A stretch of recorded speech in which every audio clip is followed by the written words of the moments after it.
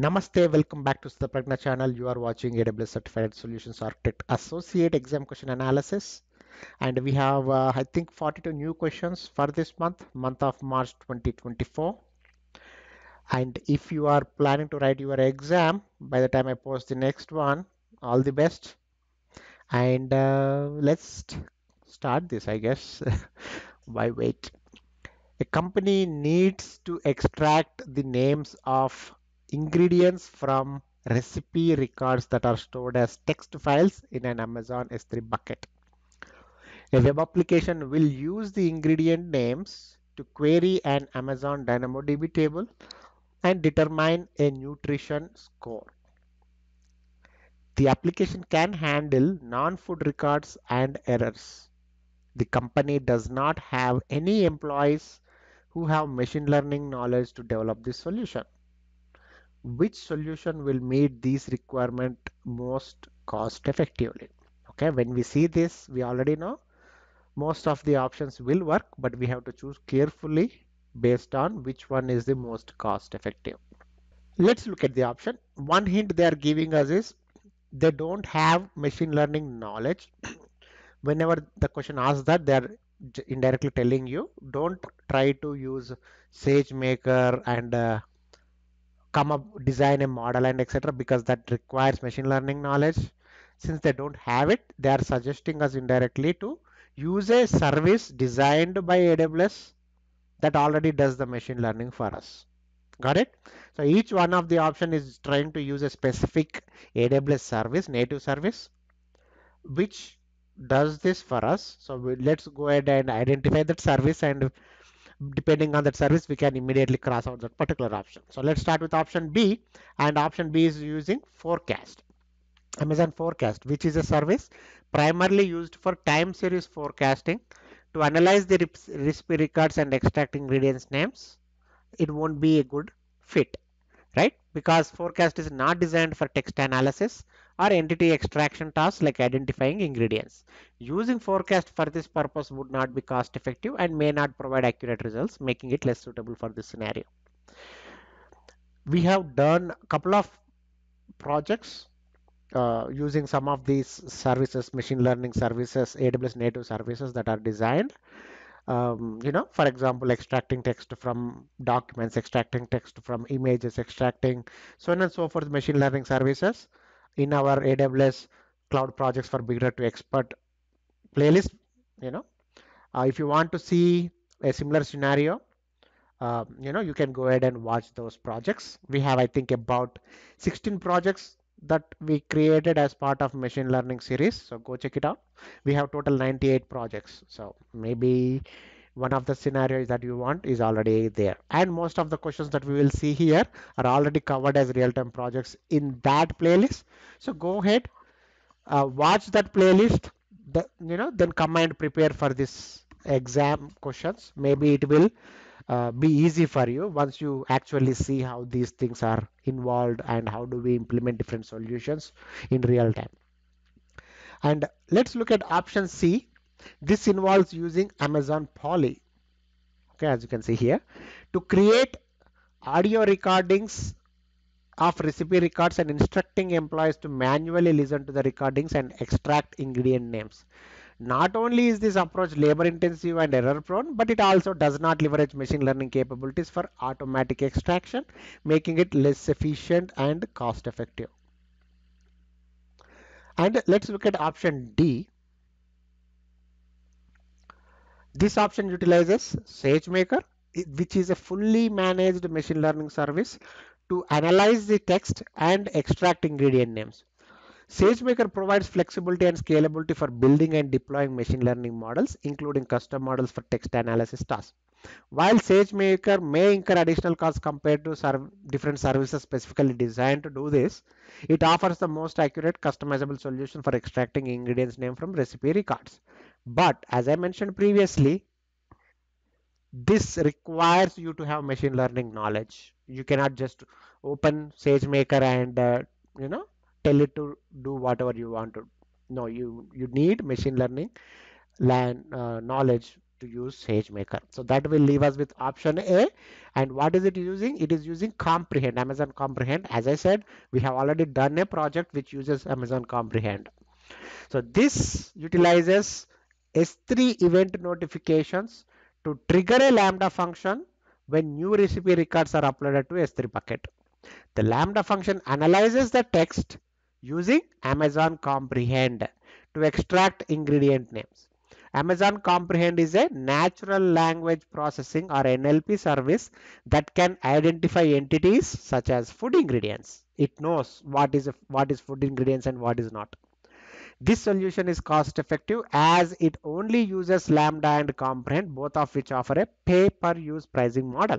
But the important part of this solution is you don't need machine learning knowledge to use Comprehend. If you don't believe me, go check that project. I think the project will be between project uh, 80 and 97 one of the project. Most likely it will be around 90 or 91 you can check that playlist. That playlist again not just that playlist. All the playlists on this channel are put in the description of each and every video. So go ahead and check the description of the video to find the projects a company needs to create an AWS Lambda function that will run in a VPC in the company's primary AWS account. The Lambda function needs to access files that the company stores in an EFS file system. The EFS file system is located in a secondary AWS account.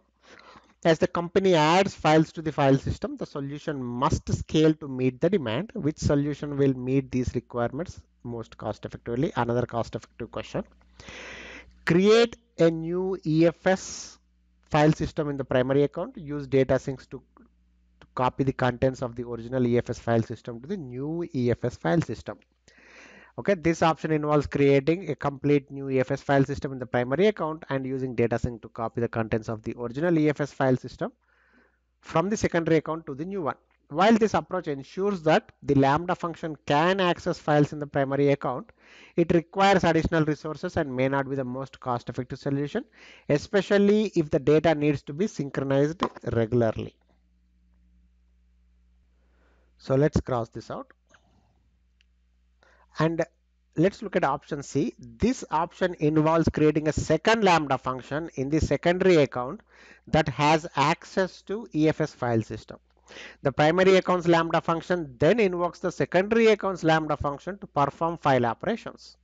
While technically feasible, this approach introduces unnecessary complexity and additional overhead in managing multiple lambda functions and invocations across accounts, making it less cost effective and efficient. So let's cross this out. And option D uses lambda layers which are a way to centrally manage code and dependencies that can be reused across multiple Lambda function. This option suggests moving the contents of the file system to Lambda layer and configuring permissions to allow the secondary account to access the layer.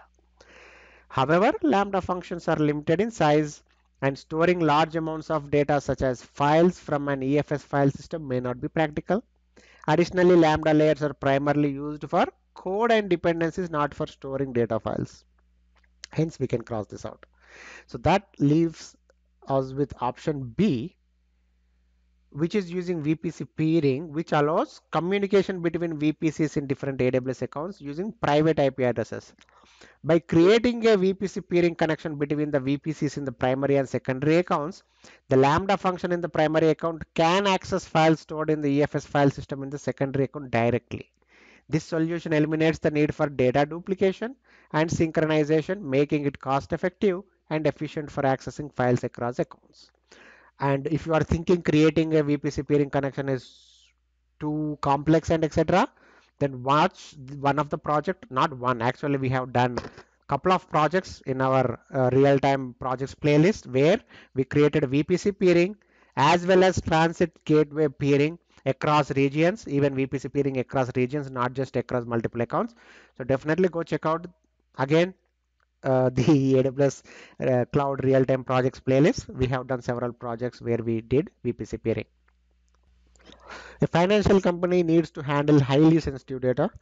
The company will store the data in S3 bucket.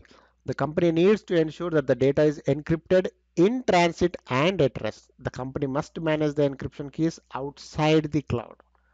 Which solution will meet these requirements? All right. First of all, we already know that if you think about encrypting in transit, then we will think of SSL and certificates. And at rest, we will think of KMS. Okay.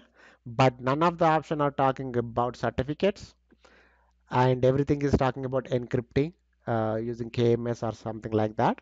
So if you want to ensure that the data is encrypted in transit and at rest, what do you what do you or what you should do, right? You cannot obviously encrypt at the server side because that will miss encrypting in the transit. Encryption server side means what? The data will come, then you encrypt on the server, which is at the rest, okay? Which will defeat the purpose of the question, which is not what they want. It has to be already encrypted before you even read, which means on the client side it has to be encrypted. So just think of uh, you know question that way so that you will know the difference between client side encryption and server side encryption. So clearly this question is asking about client side encryption, which will immediately eliminate ABC because all three three options are using server side encryption. Server side encryption means you will encrypt after you get the file. Okay? Not before. So that will leave us with option D which is talking about encrypt the data at the company's data center. So you will encrypt it then you will copy the data to S3 which means it will be encrypted already encrypted in transit and also at rest because it's already. And it will also satisfy the condition manage the encryption keys outside the cloud since you are encrypting it at the company's data center obviously you are going to manage it outside the AWS cloud. So that's it's a simple question. Once you identify if it is the server side encryption or the client side, then you got the answer. A company wants to run its payment application on AWS. The application receives payment notifications from mobile devices. Payment notifications require basic validation before they are sent for further processing. The backend processing application is long running and requires compute and memory to be adjusted. The company does not want to manage the infrastructure which solution will meet these requirements with least operational overhead? I think the reason they mentioned long running to be adjusted, they are just trying telling us to eliminate any lambda options in case if they mention using lambda to do this. Uh, because again long running lambda has a limitation of 15 minutes so forget about it and etc so let's look at the uh, options.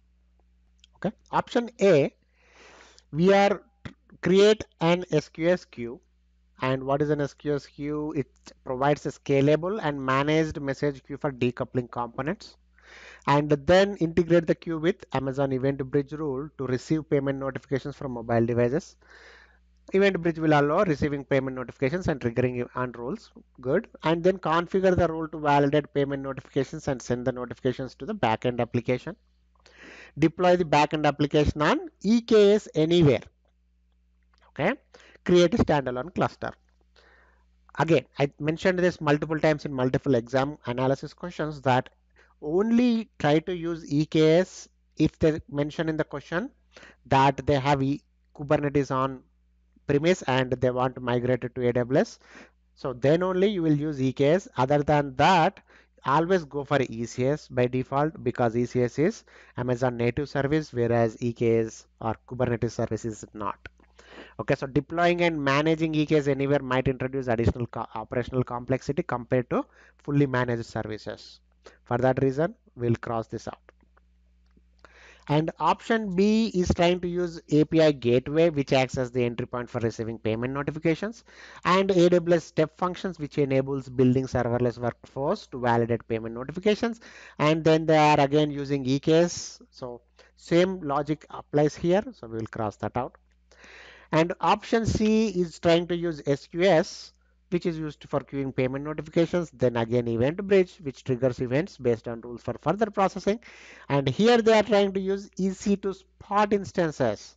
Anytime you see EC2 spot instances in the options and if the question is not talking about application can handle failures and etc you can cross it out okay because why Sp uh, spot instances have the problem of getting terminated whenever the bid price you bid is increased, right? Because it's not guaranteed compute power. Whenever the price increases, Amazon will take away the compute power that they gave. Okay, so managing spot instances and spot fleets adds operational complexity compared to other services. For that reason, never ever pick any option that has spot instances. Only pick it if the question says the application can handle failures. And option D is using API gateway which receives payment notifications. Then it is using Lambda. In the beginning of the question I said eliminate Lambda but I'm talking about backend processes. Remember there are two processes here. Don't get confused by it. You cannot use Lambda for backend processing because these are long running. But front end, these are just notifications. You can definitely use it. So they are using Lambda for basic validation of payment notifications. And then they are using ECS with Fargate for the backend, which offers serverless container orchestration, eliminating the need to manage any infrastructure. So basically this option involves the least operational overhead as it leverages fully managed services like Lambda and Fargate where AWS manages the underlying infrastructure. Hence D is our correct option. The solutions architect is designing a user authentication solution for a company. The solution must invoke two-factor authentication for users that log in from inconsistent geographical locations, IP addresses, or devices. The solution must also be able to scale to accommodate millions of users. Which solution will meet these requirements? So design user authentication for a company. Okay, so this is not for AWS cloud. Remember, you need to identify whenever they ask sign in options.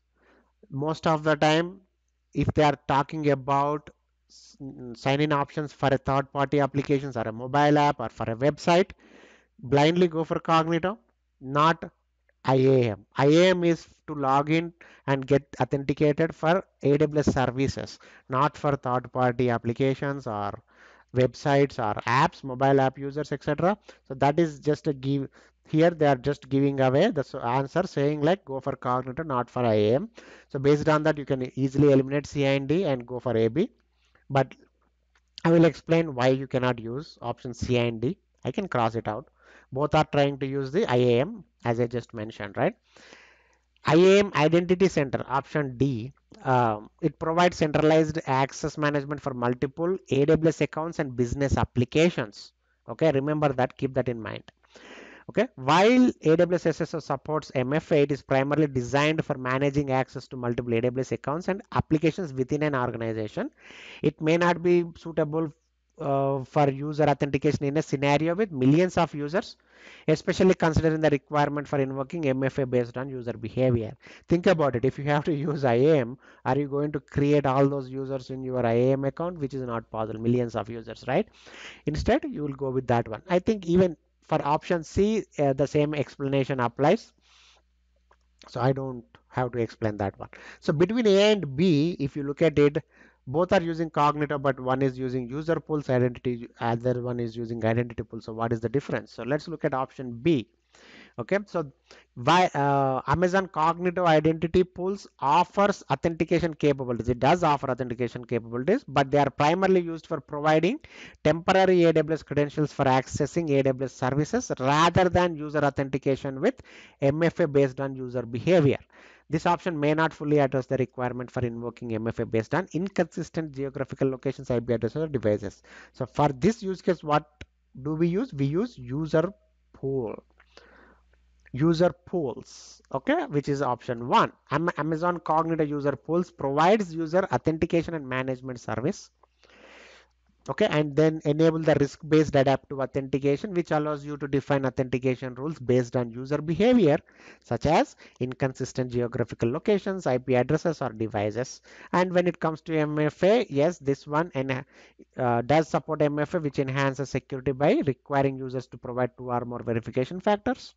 And if you are talking about scalability since it's talking about accommodate millions of users, Cognito is designed to scale to accommodate millions of users. So this option overall aligns well with the requirements as it leverages Cognito's risk-based adaptive authentication feature to detect suspicious activities based on user behavior and trigger MFA when necessary. Additionally, Cognito is highly scalable and suitable for accommodating millions of users. Okay, two giveaways. It's a user authentication solution for a company not to access any AWS services and second accommodate billions of users. Those two you can just go with this particular option. A company has Amazon S3 data lake.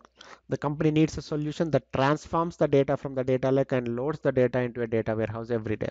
The data warehouse must have massively parallel processing capabilities.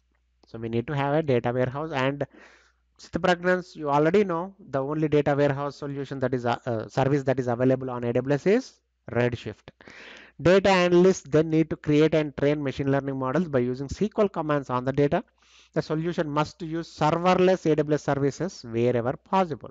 So this is again another giveaway saying, yes, Redshift has a serverless version. So just go ahead and use AWS Redshift serverless. And they're talking about machine learning and others. So let's go ahead and look at the options. Okay. So I will eliminate immediately A and B. You might ask like based on what? Why are you eliminating? We need an answer. Well, Amazon EMR is not a serverless service. You have to provision EMR and then you can create EMR jobs. That's first based on that. Second one, Redshift, it's not serverless. You have Amazon Redshift serverless, that's serverless. So that is another reason I would eliminate this one. Okay, so if you are thinking about Amazon EMR serverless, what is the service? Well, Glue, AWS Glue, right? AWS Glue is nothing but behind the scenes. You have you run EMR jobs but you don't have to provision it. And uh, right now I think there is another version called EMR serverless as well just like Redshift. But anyways you can cancel this out. And B not just for EMR Aurora. Aurora is not a data warehouse solution so you can cross that out. And you can cross D out because Athena is not a data warehouse solution. Okay? So for that reason you can cancel out. That will leave us with option C where we are using two serverless. Glue job to transform the data which is a serverless option Amazon Redshift serverless which is a serverless data warehouse option and you can use Redshift machine learning to create and train ML models using SQL so that's how we eliminate it so you don't have to know um, the answer directly you can eliminate the others and you can still get the to the answer a company runs containers in a Kubernetes environment in the company's local data center. See this? This is what I'm talking about. If the question clearly says on-premise, if they are using Kubernetes and if they are asking that oh, the company wants to use Amazon, EKS and other managed services, they mentioned it. So, but usually they mention something like this, then go for option that says EKS, but other than otherwise just go for ECS. Data must remain locally in the company's data center and cannot be stored in any remote site or cloud to maintain compliance. Okay, this is an easy giveaway. Remain data must remain locally. Whenever they say that, what is the service that should come to your mind? Outpost. Because Outpost is what? It's still AWS infrastructure, but it will sit in the company's data center. When do you, when do companies go for it? If they have compliance problems wherein they have to store the local data locally, not on cloud, not on AWS data center, then you will use Outpost. So that is a free giveaway. You can just go ahead and mark option C.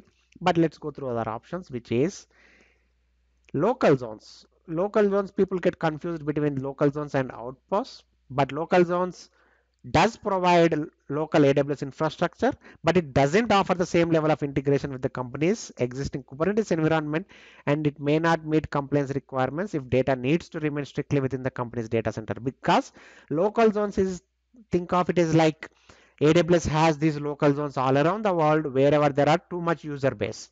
Okay.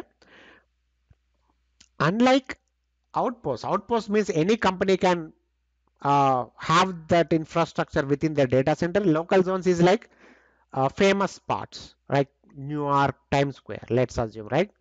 Then such famous crowded places, AWS have the local zones. If there is a company which is far away from, you know, these crowded places, then there is no local zones. Okay. Local zone, then obviously the data, again, data won't remain locally because this is not in the company's data center, local zone. It's still in the AWS uh, data center, but in a local zone. Got it? And snowmobile, use snowmobile in the company's data center. Option B, this is used for snowmobile is used for what? Large scale data migrations and it, it would not suit it would not be suitable for running managed services in the company's data center. Same thing with uh, Snowball Edge Storage is designed for edge computing and data transfer scenarios and does not provide the same capabilities as Outposts for running AWS services locally. So you don't have to go for other options. Whenever they say data must remain locally, go for Outposts. Outpost brings native AWS services, infrastructure, operating models to virtually any data center, co-location space, or on-premises facility. With Outpost, companies can run AWS infrastructure and services locally on premises and use the same APIs, control plane, tools, and hardware on premises as in the AWS cloud. By installing uh, AWS Outpost rack in the company's data center, the company can leverage Amazon EKS and other managed services while ensuring that all data remains within the local data center meeting compliance requirements. AWS Outpost provides a consistent hybrid experience with seamless integration with AWS services, allowing the company to run containerized workloads in the local Kubernetes environment alongside AWS services without data leaving the local premises. The social media company has workloads that collect and process data. The workloads store the data in on-premises NFS storage. The data store cannot scale fast enough to meet the company's expanding business needs. The company wants to migrate the current data store to AWS. Which solution will meet these requirements most cost effectively? Okay. Let's look at option A. AWS Storage Gateway Volume Gateway. Uh, with this one, on-premises applications can use can use block storage in the form of volumes that are stored as Amazon EBS snapshots. This option allows the company to store data in on-premises NFS storage and synchronize it with S3 using Storage Gateway. And Amazon S3 lifecycle policies can be used to transition the data to the appropriate storage class, such as standard IAR S3 intelligent tiering um, so basically this option may incur additional costs for maintaining the storage gateway, volume gateway and EBS snapshots, which might not be most cost effective solution depending on the volume of data and frequency as frequency of access. For that reason, we will not go with volume gateway. You can cross this one out. And then we have option C, which uses EFS which is a scalable file storage service that can be accessed from multiple EC2 instances. This option involves using standard IaaS storage class of Amazon EFS, which provides cost savings for infrequent access data. The company can activate an infrequent access lifecycle policy to further optimize costs. And Amazon EFS offers a fully managed solution with pay-as-you-go pricing and using the standard IaaS storage class with a lifecycle policy can provide cost sequence for infrequent accessed data. But why don't we pick this choice? Because it said most cost effective and the cost effective solution when it comes to storage is always S3, which is already mentioned in option A and B. For that reason, we don't go with C and D because it is using EFS. And we definitely not go with e, uh, D because it's using one zone, which means it's not highly available if that particular zone is gone then all the data is gone.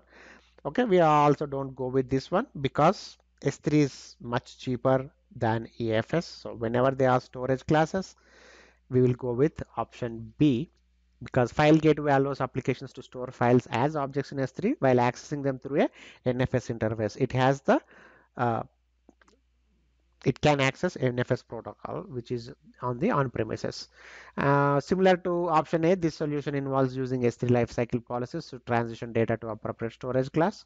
So yeah, again, you can even store, uh, save more money depending on the uh, storage class as well. Okay, so this is a straightforward question.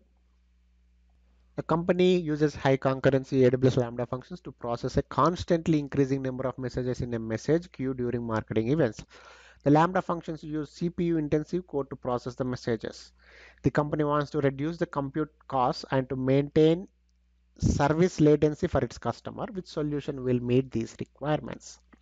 So two options are using reserved concurrency and two are using provisioned concurrency and uh, both reserved and provision they are decreasing the memory and increasing the memory. So let's see what exactly reserved concurrency does and provision concurrency does. So option a is trying to use reserved concurrency which allows you to set the maximum number of concurrent executions for a lambda function. Okay that's basically the reserved concurrency will do. And decreasing memory may reduce costs but if the lambda functions are cpu intensive reducing memory might degrade performance you might be thinking like how come decreasing memory? Because lambda memory uh, cpu is linked with your memory right? The more memory you give the more cpu cores it increases and so on and so forth right? So by reducing memory you are degrading cpu as well. So this option doesn't directly address the cpu intensive nature of the workload so you can cross it out. And for the same reason you can actually cross option c out.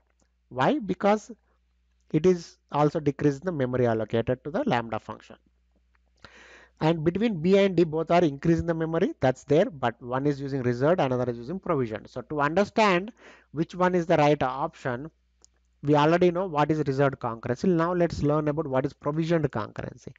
Provisioned concurrency can help maintain low latency by pre-warming lambda functions. Isn't that's what we want? We want to maintain service latency for its customer so we would go with provisioned concurrency instead of reserved concurrency so for that reason, we will cross this out. Okay, and increasing memory might improve performance for CPU intensive tasks. And AWS Compute Optimizer recommendations can guide in optimizing resources for cost and performance. This option combines the benefits of provisioned concurrency for low latency and AWS Compute Optimizer recommendations for cost optimization as well as performance improvement. Hence, D is the right answer for us.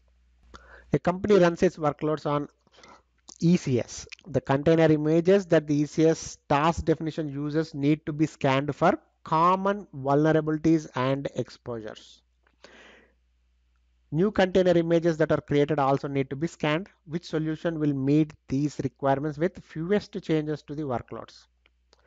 Okay, fewest changes to the workloads means don't create a, your own solution. Try to use some feature that is available as part of these services and yes we do have something like that so let's go through the options option b involves storing container images in s3 and using amazon macie which is a data security and privacy service to scan the images for vulnerabilities and then using s3 event notifications every new object creation in s3 triggers a macie scan this approach adds complexity by introducing S3 and Macie into the workflow requiring additional setup and management compared to whatever you already have. So cross this out. Option C involves migrating workloads from ECS to EKS. I already told you we don't do that. We don't you go for EKS. You can only time you go for EKS is if the question mentions that is there, which requires significant changes to the existing ECS setup okay and uh, option D involves storing container images again in S3 and using Lambda to trigger inspector scans. It adds complexity by introducing S3, Lambda, inspector into the workflow which requires additional setup and management. Similar to option B, this option adds more changes and components to the existing setup compared to using ECR directly with ECS, which is what option A is doing. Amazon ECR, which is the container registry, supports scanning container images for vulnerabilities using its built-in scan on push feature. With scan on push filters, Every new image pushed to the repository triggers a scan for vulnerabilities. This option requires minimal changes to the existing ECS setup as it already leverages Amazon ECR, which is commonly used with ECS for storing container images.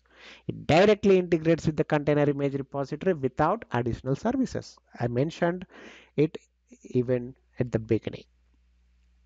A company uses an AWS batch job to run its end of day sales process. The company needs a serverless solution that will invoke a third-party reporting application when the AWS batch job is successful. The reporting application has an HTTP API interface that uses username and password authentication. Which solution will meet these requirements? Okay. Option B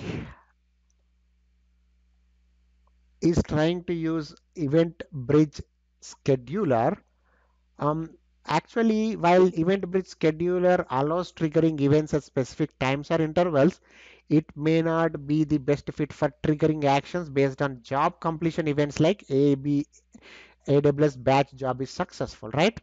You do you are not you are, you should not be scheduling it. You are supposed to trigger it based on the success of the job. So for that reason, cancel B.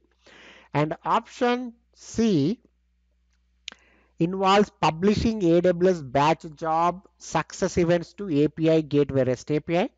While it's feasible, it introduces complexity by requiring setup and management of API gateway resources. Directly invoking the third-party API from event bridge notifications is more straightforward, which we will see in a minute. And option D adds an extra layer of indirection by invoking AWS Lambda function through API gateway. It offers flexibility, but it increases complexity without significant benefits. For that reason, we'll cancel this out. So what are we going to do? We are going to go with option A because this aligns well with using events to trigger actions based on AWS batch job state changes, not scheduled. So by configuring event bridge rule to match AWS batch job success events and sending them to an API destination, you can achieve the desired outcome effectively. Event Bridge provides seamless integration with various AWS services, including batch and API gateway, making it a suitable choice for event-driven architectures. You can mention the third-party HTTP API interface that uses username password authentication as the target to event bridge if you aren't aware of that. So overall, this option remains our best option for this scenario. The company collects and processes data from a vendor the vendor stores its data in an Amazon RDS for MySQL database in the vendor's own AWS account. The company's VPC does not have an internet gateway, an AWS Direct Connect connection, or AWS site-to-site VPN connection. The company needs to access the data that is in the vendor database. Which solution will meet this requirement?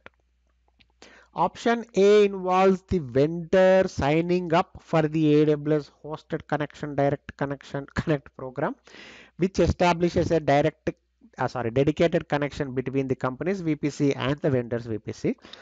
VPC peering is then used to connect the two VPCs allowing traffic to flow securely between them. While this solution provides a direct and secure connection between the VPCs, it requires coordination with the vendor to set up the direct connect connection, which might introduce additional complexity and dependencies. Overall, this solution can be effective, but might involve more coordination and setup effort for that reason cancel that out. Option b involves setting up a client VPN connection between the company's VPC and the vendor's VPC, allowing secure access to resources in the vendor's VPC. While this solution provides secure access to the vendor's resources, setting up and managing a client VPN connection might introduce overall overhead and complexity. Moreover, client VPN connections are typically used for remote access scenarios and using them for inter-VPC communication might not be the most straightforward approach. Overall, this solution might be less optimal due to the additional complexity and overhead of managing a client VPN connection. And option D involves using transit gateway to integrate the company's VPC and vendor's VPC, allowing for centralized management and routing of traffic between multiple VPCs. And VPC peering, peering is then used to establish connectivity between the company's VPC and vendor VPC. While Transit Gateway provides centralized management and routing capabilities, it might introduce additional complexity and overhead, especially if the setup is not already in place. Since the company's VPC does not have internet access, Transit Gateway might not be the most straightforward solution for this scenario and overall this using transit gateway might be overkill for specific requirements of accessing a single RDS database in the vendor's VPC. Transit gateway is like a centralized hub. If you have more VPCs, more than two VPCs, you want to communicate between each other, etc. Here, all you need to do is access database. Why do we want to go with VPC peering? VPC peering means you are literally giving access to this entire VPC, which is like against the principle of least privilege, right? So for that reason, we won't go with any of those options. Instead, we'll go with option C, which makes sure to give access to only that particular service instead of the entire VPC. This involves the vendor setting up a network load balancer in front of the RDS database and using AWS private link to integrate the company's VPC and the vendor's VPC. Private link provides private connectivity between VPCs without requiring internet gateways, VPN connections or direct connect. By using private link, company can securely access resources in the vendor's VPC without exposing them to the public internet. Overall, this solution provides secure and private connectivity between the VPCs without the need for complex networking setups, making it our only option for this solution. A company wants to set up Amazon managed Grafana as its visualization tool. The company wants to visualize data from its Amazon RDS database as one data source. The company needs a secure solution that will not will not expose data over internet. Whenever you hear that word, what should come to your mind?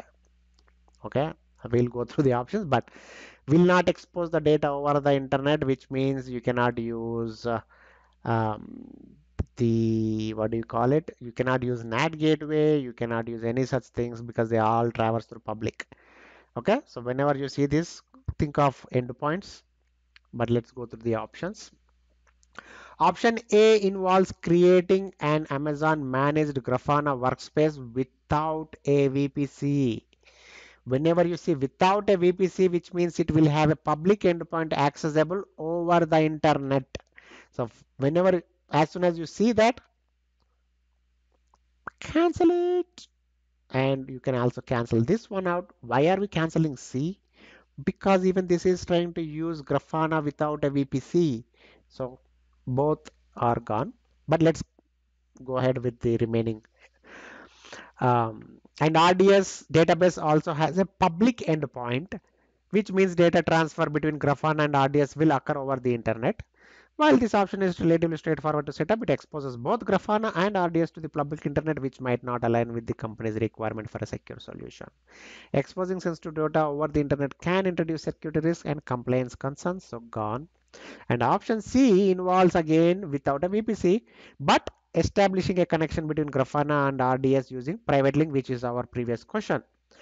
Private link allows private connectivity between services across different VPCs or accounts without exposing the data over the internet. While this option leverages private link for secure communication between Grafana and RDS, it still exposes Grafana to the public internet, which might not align with the requirement for a secure solution. And then we have option D, this involves creating Amazon managed Grafana in a VPC, but using a public endpoint for RDS database. While Grafana workspace remains within the VPC, the use of public RDS endpoint means that data transfer between Grafana and RDS will occur over the public internet, which might not be desirable from a security perspective. So that will leave us with option B, wherein we are creating Grafana workspace in a VPC and configuring it with a private endpoint, ensuring that it is not accessible over the public internet. RDS database also has a private endpoint within the same VPC, ensuring that data transfer between Grafana and RDS remains within the AWS network and does not traverse the public internet. By using private endpoints and keeping the communication within the VPC, this option provides a more secure solution compared to A, C, or D. The company hosts a data lake on S3. The data lake ingests data in Apache Parquet format from various data sources. The company uses multiple transformation steps to prepare the ingested data. The steps include filtering of anomalies, normalization of data to standard date and time values, and generation of aggregates for analysis. The company must store the transformed data in S3 buckets that data analysts has access the company needs a pre-built solution for data transformation that does not require code. The solution must provide data lineage and data profiling. The company needs to share the data transformation steps with employees throughout the company. Which solution will meet these requirements? So before me going into these options, I will just show you one uh, documentation. I guess based on that, you can easily pick the answer. Okay. So as you can see, Glue Studio is a graphical interface to do all this, but Data Brew is a visual data preparation tool that enables you to do all this. It already has 200 transformations built in, which you, it provides Glue Studio as well. But the option or the answer that we are looking for in this particular question is Data Brew. So you can immediately eliminate the studio and uh, this one because none of these are visual data preparation tools and the question clearly asks for that one. Uh, I mean, I don't think it is asking exactly for the visual, uh, but it is definitely asking for pre-built solution for data transformation, which is only available in the data brew, right? Uh, read this documentation read this documentation which is exactly what the question is asking about and then you will have a pretty uh, clear answer. Okay so option is answer C this is a visual data preparation tool that allows users to clean transform data without writing code. And Databrew provides an intuitive interface for creating data transformation recipes, making it accessible to users without coding expertise. Users can easily share transformation steps, which are recipes, with employees by using Databrew's collaboration features. And Databrew also offers data lineage and data profiling capabilities, ensuring visibility into data transformations. A solutions architect runs a web application on multiple EC2 instances that are in individual target groups behind an ALB. Users can reach the application through public website. The solutions architect wants to allow engineers to use a development version of the website to access one specific development EC2 instance to test new features for the application. The solutions architect wants to use an Amazon Route 53 hosted zone to give the engineers access to the development instance the solution must automatically route to the development instance even if the development instance is replaced. Which solution will meet these requirements? We have done similar scenario uh, as one of the project in the AWS cloud projects for beginner to expert. Go check it out, but let's go through these options. Option B involves assigning a public IP directly to the development instance and creating a DNS record pointing to that IP address. While this approach may work, it doesn't leverage the benefits of load balancing and scalability provided by ALB. Additionally, if the development instance is replaced, the public IP address may change, requiring updates to the DNS records. Hence, gone. And option C, similar to A, uses an A record to point to the ALB and creates a listener rule to handle requests for the development website. However, instead of forwarding requests to the target group, it directs it redirects them to the public IP of the development instance.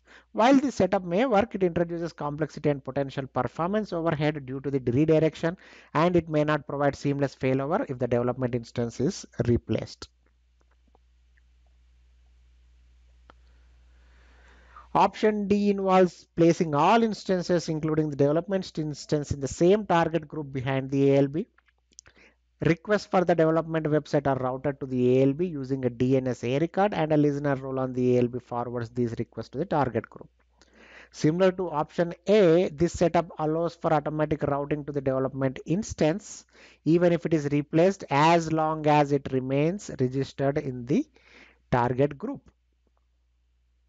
Okay, so why are we not going to pick this one? Because you should not be putting all instances in the same target group. You are supposed to only put the development instance in that, which is what option A is doing. For that reason, we will pick option A. Okay. Why? Because this option sets up a DNS record pointing to the ALB, ensuring that requests for the development website are routed to the load balancer. By creating a listener rule on the LB requests for the development website can be forwarded to the target group containing the development instance. This setup allows for automatic routing to the development instance even if it is replaced as long as the instance is registered in the target group. The company runs a container application on a Kubernetes cluster in the company's data center. The application uses advanced message queuing protocol AMQP to communicate with a message. The data center cannot scale fast enough to meet the company's expanding business needs. The company wants to migrate the workloads to AWS. Which solution will meet these requirements with the least operational overhead? Okay, this one will be an easy one. Uh, you can cross out SQS because SQS doesn't support AMQP protocol. This is basic, SQS is basic. And uh, the, I think you can cross this one out as well because this is using SQS. You, we can leave with BNC because both are using AMQ or Amazon, uh, sorry, Amazon MQ. So for that reason, we'll keep Amazon MQ uh, supports the uh, messaging AMQP. And between B and C, okay, this is your chance to pick uh, Kubernetes service because they are using Kubernetes cluster. So that's for that reason, we'll go ahead and pick option B instead of option C using highly available EC2 instances to run the application. Okay. So cross that out. This is an easy pick, right? Don't you think so? Because we are talking about containerized services and least op. So as soon as you see this, you can cross out any option that has EC2. Not just in this question, any question you see. Least operational overhead crossed out because EC2 instances are not least operational overhead, maybe like the most operational overhead. An online gaming company hosts its platform on EC2 instances behind NLBs across multiple AWS regions. NLBs can route requests to targets over the internet. The company wants to improve the customer playing experience by reducing end-to-end -end load time for its global customer base. Load time. Which solution will meet these requirements? Option A is trying to use ALBs which are designed to optimize traffic distribution at the application layer, providing advanced features such as content-based routing, SSL offloading, and integration with AWS services like WAF. However, replacing NLBs with ALBs might involve changes to the application setup and configuration. While ALBs can improve performance in some main scenarios, they may not significantly reduce end-to-end -end load time unless there are specific optimizations in the application layer that ALBs can leverage. This option might not provide the desired improvement in load time without further optimizations. Cross it out. And again, usually when you talk about online gaming, the traffic is usually UDP and you clearly know ALB doesn't support ALB, ALB supports HTTP and HTTPS. And option B configure is talking about configuring route 53 which is a DNS service that can distribute incoming traffic across multiple endpoints including NLBs in different AWS regions. And by using weighted routing policies, you can distribute traffic evenly across NLBs, which can help balance the load and potentially reduce latency by directing users to the closest region. This solution might help in distributing traffic efficiently, but not directly addresses reducing end-to-end -end load time. And option C, uh, while adding more NLBs and EC2 instances in regions with large customer bases can help distribute the load and reduce latency for customers in those regions, it doesn't address the global load time issue for all customers. It may increase infrastructure complexity and cost without necessarily providing significant improvements in load time for customers in other regions. For that reason, gone. So we are left with option A Okay, it's trying to use global accelerator as the name suggests. Global accelerator, it accelerates the load times. Okay, so it is a networking service that improves the availability and performance of your applications with local and global traffic load balancing as well as health checks. By configuring the existing NLBs as a target endpoints in global accelerator, traffic can be intelligently routed over AWS global network to the closest entry point to the AWS network, reducing the end-to-end -end load time for customers globally. This solution provides a centralized approach to optimize global traffic flow without requiring changes to the existing infrastructure setup. A company has an on-premises application that uses SFTP to collect financial data from multiple vendors. The company is migrating to AWS Cloud. The company has created an application that uses S3 APIs to upload files from vendors.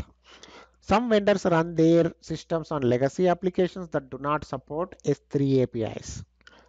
The vendors want to continue to use SFTP based applications to upload data. The company wants to use managed services for the needs of vendors that use legacy applications. Which solution will meet these requirements with least operational overhead?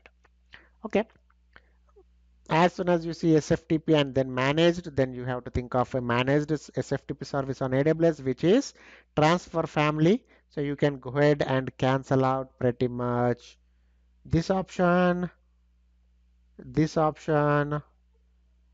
Oh, basically all these options because none of them are managed services for SFTP. Option B is the only one. So AWS Transfer Family provides fully managed SFTP, FTPS and FTP servers for easy migration of file transfer workloads to AWS. And the transfer family with it you can create SFTP endpoints that allow vendors with legacy applications to upload data securely to S3 using their existing SFTP clients. This solution eliminates the need for managing infrastructures or servers as AWS handles the underlying infrastructure scaling and maintenance. This is the only one that satisfies the condition of use managed services. A marketing team wants to build a campaign for an upcoming multi-sport event. The team has news reports from the past five years in PDF format. The team needs a solution to extract insights about the content and sentiment of the news reports. The solution must use Textract to process the news reports, which solution will meet these requirements with least operational overhead. And uh, yes, as you might have guessed, we already have a project based on Textract. I think the project number is uh, 91 or 92. Check in 90s um, in the same playlist that I mentioned before, where we use Textract. And we have we already, I think, not just one project. I think we did use multiple projects where we use Textract. Okay, let's look at the options. And what are we looking at? We want to analyze, extract insights about the content sentiment of the news reports, which we have already seen a similar question. So if you figured that out, then you know the, which one is the answer. Option A, they are trying to use Athena uh, which is a serverless interactive query service that allows querying data stored in S3 using SQL. Storing the extracted insights in S3 and then querying them with Athena can provide flexibility in analyzing the data. However, using Athena for sentiment analysis, analysis would require additional custom SQL queries or integrating with other services. While Athena itself has low operational overhead, additional steps might be needed for sentiment analysis because this is not a machine learning service so it doesn't do the sentiment analysis on its own and option B is trying to use uh, the extracted insights DynamoDB and then SageMaker to build sentiment model. Storing insights in DynamoDB can provide fast and scalable access to data and using SageMaker to build custom sentiment analysis model based on extracted insight might work but this requires setting up and managing SageMaker notebook instance, training and deploying a machine learning model, which adds operational overhead.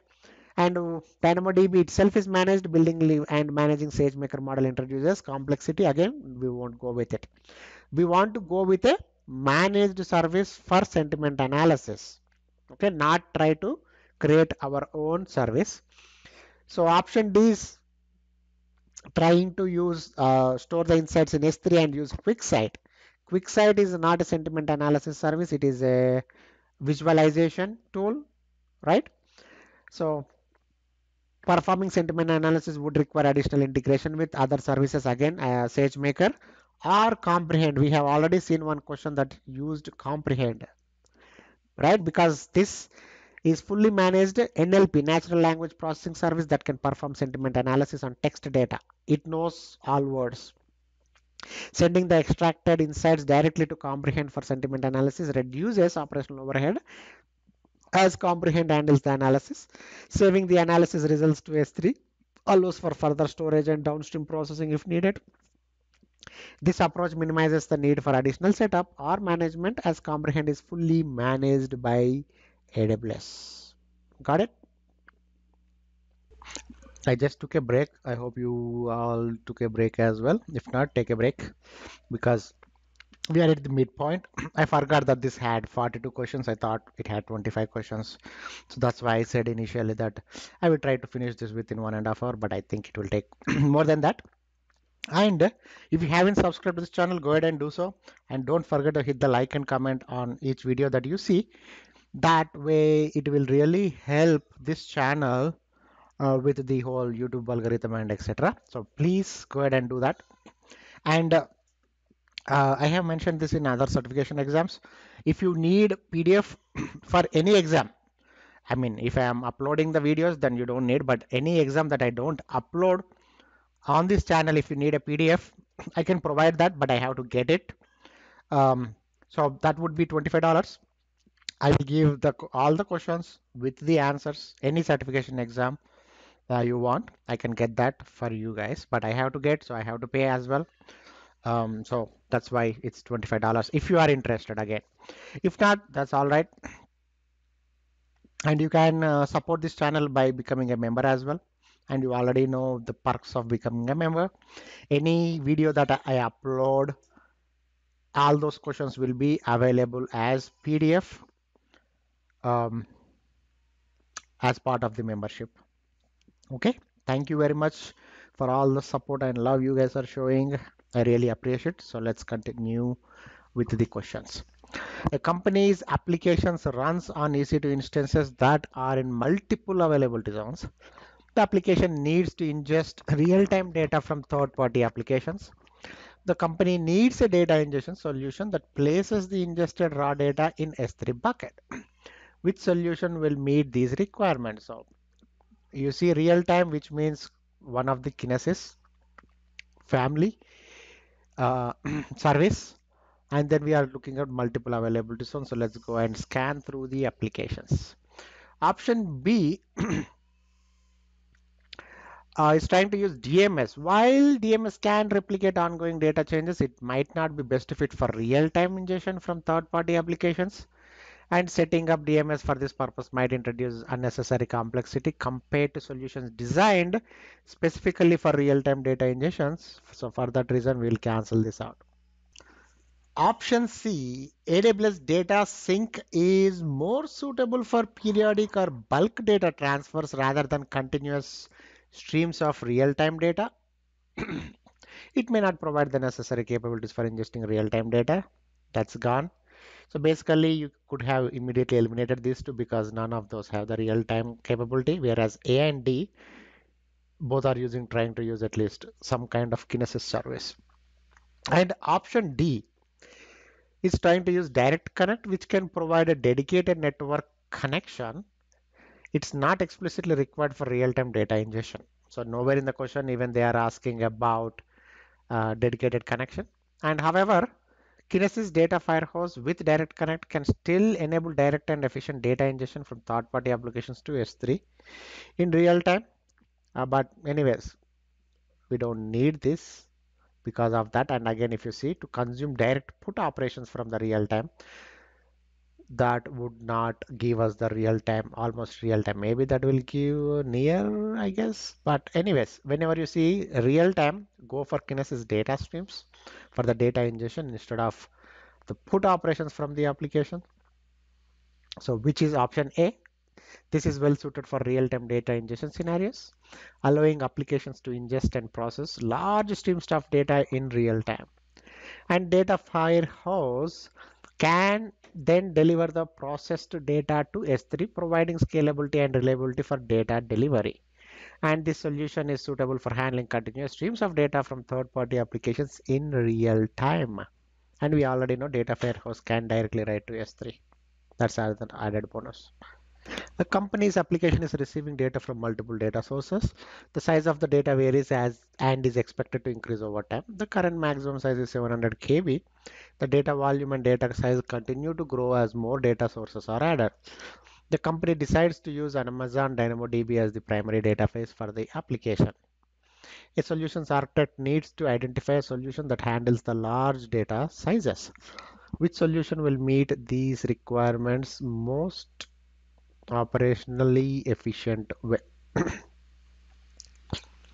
Option A involves offloading large data from DynamoDB to Amazon Document DB, which is better suited for storing large documents. While it addresses the size limitation of DynamoDB, it introduces complexity with data synchronization between Doc DynamoDB and DocumentDB it may not be the most operationally efficient solution due to the need for managing data in two different databases. And option C aims to distribute large data across multiple items to fit within DynamoDB's size limits. While it addresses the size limitation, it may lead to increased complexity in managing and querying data, especially for retrieval and update spanning multiple items. Items in the sense records. You cannot put one record into multiple records or rows, right? It will just increase complexity. and option D aims to reduce the size of large objects using compression before storing them in DynamoDB. While compression can help reduce storage costs and optimize network bandwidth, it may not fully address the size limitation of DynamoDB items. Decompression is required upon retrieval, potentially adding processing overhead. so for that reason, we will go with option B, what is it doing? that is that the other options didn't do. It leverages the scalability and cost effectiveness of S3 for storing large objects and DynamoDB stores metadata or pointers to the objects in S3 allowing efficient retrieval when needed. It's a commonly used pattern for uh, handling large payloads in DynamoDB, providing a scalable and efficient solution. Usually uh, such use uh, scenario, not scenario, such solution is used with uh, images and uh, video files or audio files etc but even in, in this case we can use it. A company is migrating a legacy application from an on-premise data center to aws the application relies on hundreds of cron jobs that run between 1 and 20 minutes on different recurring schedules throughout the day. The company wants a solution to schedule and run the cron jobs on aws with minimal refactoring schedule between 1 and 20 minutes. The solution must support running the cron jobs in response to an event in the future. Okay, first of all, 1 and 20 minutes eliminates any lambda options that we have because lambda has limitations of 15 minutes. So we cannot technically use this because some of them are running more than 15 minutes. So whichever option mentions lambda function, we can eliminate it. Um, if we scan through it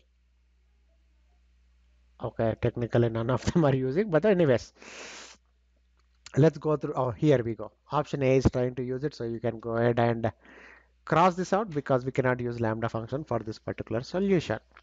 Okay um then let's look at option B. This option involves using AWS batch to execute the cron jobs. And uh, if you already know, AWS batch is well suited for batch processing tasks, but it may introduce additional complexity compared to other options, especially for short running tasks like cron jobs. So for that reason, we don't want this. And all of them are creating container images for cron jobs so whenever you have container images what solution should come to your mind? ECS which is what they are using but use batch on ECS that is the problem. And option D involves using step functions to orchestrate the execution of cron jobs. While step functions can handle workflows and state management it may introduce additional complexity compared to using event bridge, which is what option C is doing. Option C suggests using Fargate to run the containerized cron jobs triggered by event bridge scheduler. Fargate provides a serverless compute for containers, allowing for easy scaling and management without the need to provision or manage servers. For that reason, we will pick option C. A company uses Salesforce. The company needs to load existing data and ongoing data changes from Salesforce to Redshift for analysis. The company does not want the data to travel over the public internet. Again, this is again, I think third question, which is talking about data to travel over the pub. They don't want same sentence. And what is, what did I suggest you during that? which solution will meet this good least operational overhead okay so whenever they say data to travel over public internet what we are trying to say is use endpoints. Or endpoints actually use private link. So either private link or endpoint. We already seen two questions that use a private link. So you can directly go ahead and pick that as the answer because we only have one option that is trying to use private link.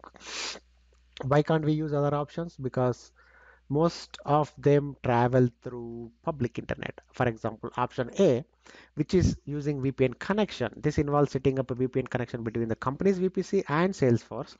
The vpn connection provides a secure tunnel over the public internet allowing data to be transferred securely between the vpc and salesforce. Okay so that is good enough for us to cancel this because we don't want it to travel through public internet. And option b aws direct connect similar to a this approach involves establishing a direct dedicated private connection between vpc and salesforce using direct connect. Direct connect provides a private and dedicated connection to salesforce network. Okay? So why don't we want to use this? Well let's look at the others as well. And it is trying to use glue data brew. Similar to option a data brew is utilized for data transfer which may not be ideal tool for this purpose because we want to transfer data and we already learned what is data brew it is a visual um, tool to design ETL jobs or extractor cleanse data, right? Not to transfer data. So do you want to use data brew for doing that? Of course not. So then we have option D using VPC peering connection. VPC peering allows communication between two VPCs within the same or different AWS accounts. This option suggests establishing a VPC peering connection between the company's VPC and Salesforce VPC. Okay, so setting up VPC peering involves configuration, configuring route tables, security groups, ensuring proper network connectivity between the VPCs, right?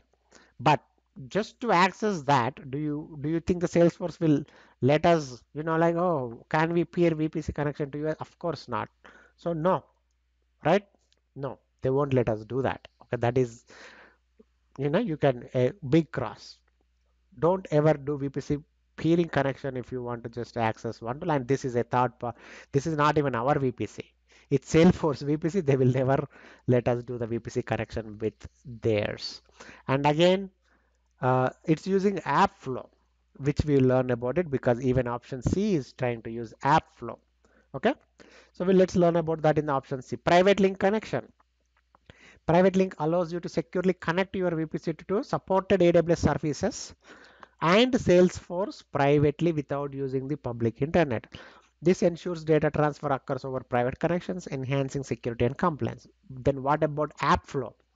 AppFlow is a fully managed integration service that enables you to securely transfer data between AWS services and SaaS applications. Whenever you see a SaaS application, just pick AppFlow. Okay. Salesforce is an example of SaaS application if you are if you already, already figured it out. It provides built-in connectors for Salesforce, simplifying the data transfer process without the need for custom development. Okay, option C is our answer, which offers the least developmental effort because it leverages the capabilities of private link and Appflow, which are managed services. You do not need to build or maintain custom VPN connections like A and B or manage VPC peering connections like option D. Instead, you can quickly set up the private link connection and configure data transfer using Appflow's user-friendly interface, reducing development time and effort. The company recently migrated its applications to AWS. The application runs on EC2 Linux instances in an auto-scaling group across multiple availability zones. The application stores data in an elastic file system that uses EFS standard infrequent access storage. The application indexes the company's files. The index is stored in an Amazon RDS database. The company needs to optimize storage costs with some application and service changes. Which solution will meet these requirements most cost effect eff effectively? Okay, let's look at the options. All the options. Um, two of the options S3, two of the options Amazon FSX. So let's go through each FSX first. Option B is trying to use FSX for Windows file server. You can immediately cross this out because they clearly said they are running on EC2 Linux. So you don't have to use the uh, the Linux file server file server. And option C is trying to use FSX for OpenZFS. Uh, this option involves deploying FSX for OpenZFS, which provides fully managed file system shares based on OpenZFS file system and then update the application to use the new mount point. So this um, needs to be updated to use NFS or SMB protocol to access files from the FSX file shares, right? So similar to B, this provides a managed file storage solution, but it may not be the most cost effective option because whenever you talk about storage and if there is S3, then that is the cheapest option that is available.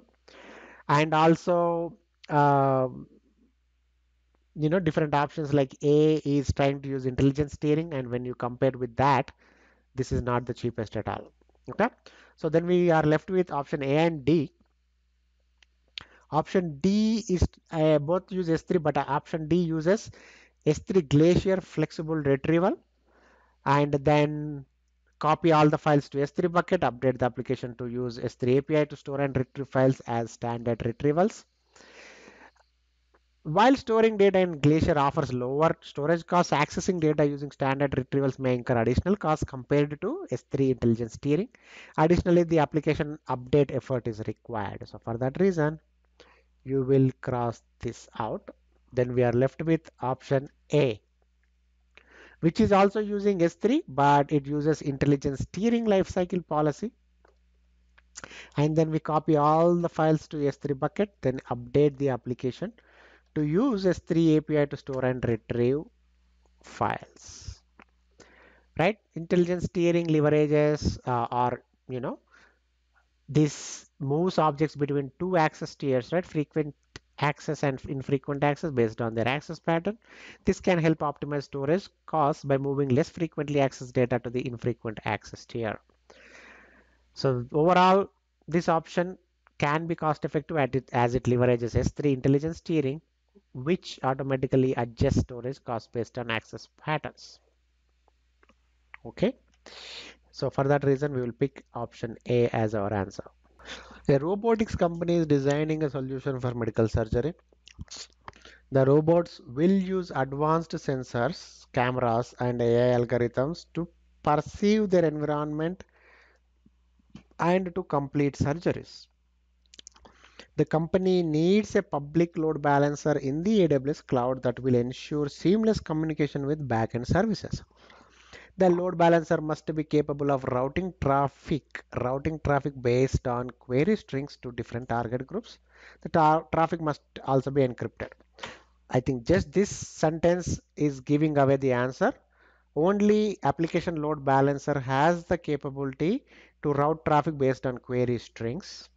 So we look for anything that mentions application load balancers, which is option C. You can immediately go ahead and cross this out because NLB doesn't support routing based on query strings. So does gateway load balancer. It doesn't.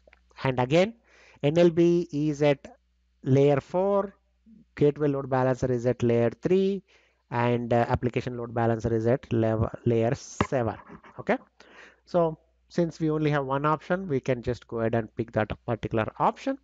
ALB is designed to route traffic at the application layer of the OSI model. It supports advanced routing features such as HTTP and HTTPS traffic routing based on various attributes, including HTTP headers, URL paths, and query parameters. ACM certificate can be attached to ALB to ensure the traffic to the load balancer is encrypted. ALB supports query parameter based routing, allowing you to route traffic based on specific parameters within HTTP requests. This aligns with the requirement for routing traffic based on query strings. A company has an application that runs on a single Amazon EC2 instance. The application uses a MySQL database that runs on the same EC2 instance. The company needs a highly available and automatically scalable solution to handle increased traffic. Which solution will meet this requirement?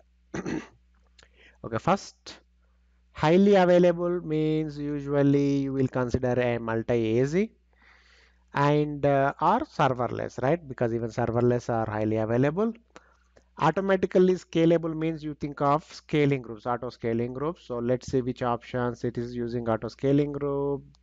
This is using auto scaling group. B and D are not using it, so you can go ahead and immediately cancel them out. But let's go through the different options. So let's go through these options that are not using auto scaling group.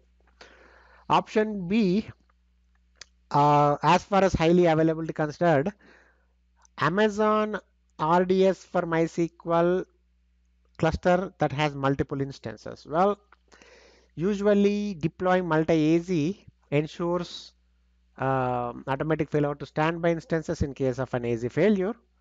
But here we are talking about has multiple instances. Well, would you consider this as highly available? I wouldn't because they are not telling us are these multiple instances in the same availability zone or different availability zone? If they are in the same availability zone and if availability goes down, then both are gone. So it's I wouldn't consider it as being highly available. And uh, option D, create an Amazon Elasticache for Redis cluster that uses MySQL connector. Why do you want to use a in-memory database in place of a RDBMS. Obviously, I won't use it at all. Even with this, maybe if this is highly available, but nah, we don't want to use uh, this one for MySQL. So that will leave us with A and C and both are using auto scaling groups, but let's look at the database here. Create Redshift cluster that has multiple compatible nodes, MySQL compatible, and what does that even mean?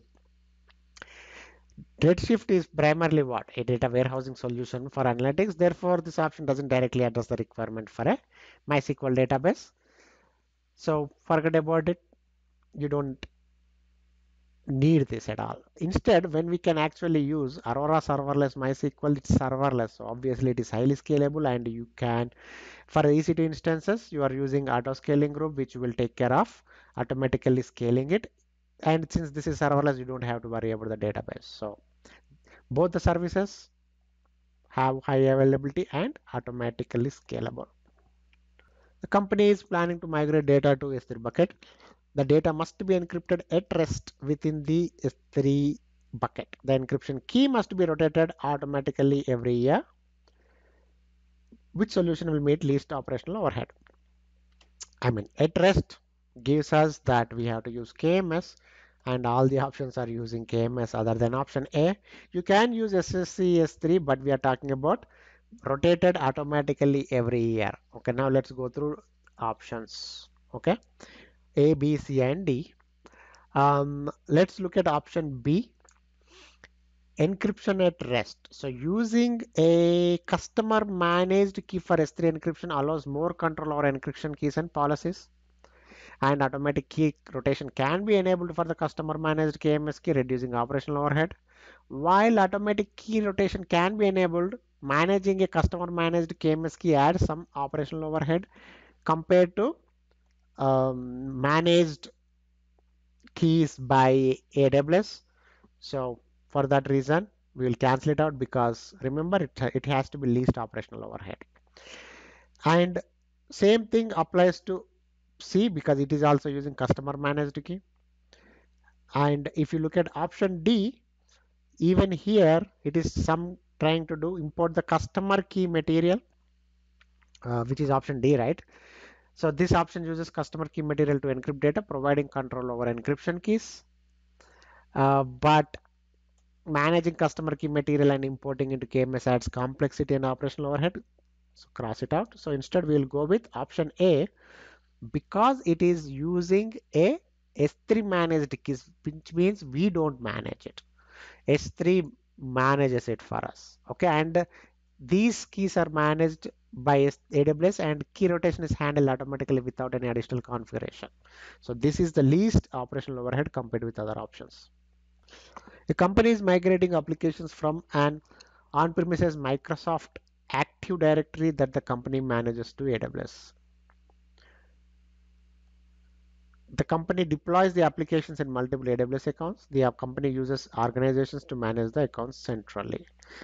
The company's security team needs a single sign-on solution across all the company's AWS accounts. The company must continue to manage users and groups that are in the on-premises Active Directory. Must continue. Which solution will meet these requirements? All right. Option A involves deploying an AWS managed Microsoft AD in AWS Directory Service and configuring it as the identity source for IAM Identity Center.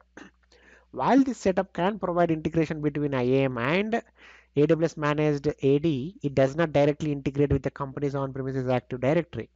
Users and groups from the on-premises Active Directory would need to be synchronized or manually managed in the AWS managed Microsoft AD, which could add complexity and overhead. So for that reason, we will cross it out. We, wa we want to use the existing one in the on-premise through AWS. That's what we want, not create a new one on AWS. Option C, there are some similarities between B and C, but let's go uh, option C involves establishing a trust relationship between the company's on-premises Active Directory and AWS Directory Service. However, AWS Directory Service does not inherently provide IAM Identity Center capabilities. Additional configuration would be needed to integrate with IAM for single sign-on across AWS accounts because this one is not talking anything about IAM Identity Center. And option D involves deploying and managing an identity provider on EC2 which adds operational overhead. It also requires manual configuration to link the IDP as an identity source within IAM Identity Center. While it's technically feasible, it may not be the most efficient or scalable solution compared to utilizing AWS Directory Service or IAM Identity Center directly, which is what our option B is doing. This involves establishing a trust relationship between the company's on-premises Active Directory and AWS IAM Identity Center using AWS Directory Service for Microsoft AD. It allows for single sign-on across AWS accounts by leveraging the existing on-premises Active Directory for user authentication.